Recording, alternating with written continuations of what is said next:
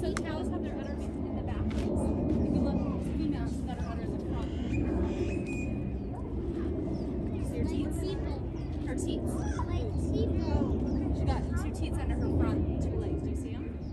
Like people. I don't know. She's had a baby and all.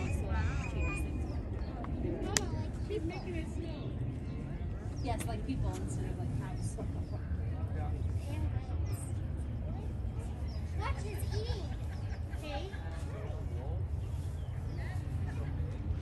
There we go. It in the mouth.